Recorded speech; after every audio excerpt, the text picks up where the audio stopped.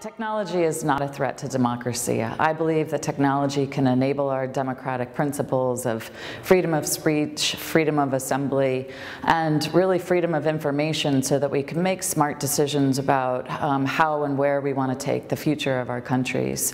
I think we have to be mindful of how the technology can be used against us and educate our citizens about those risks.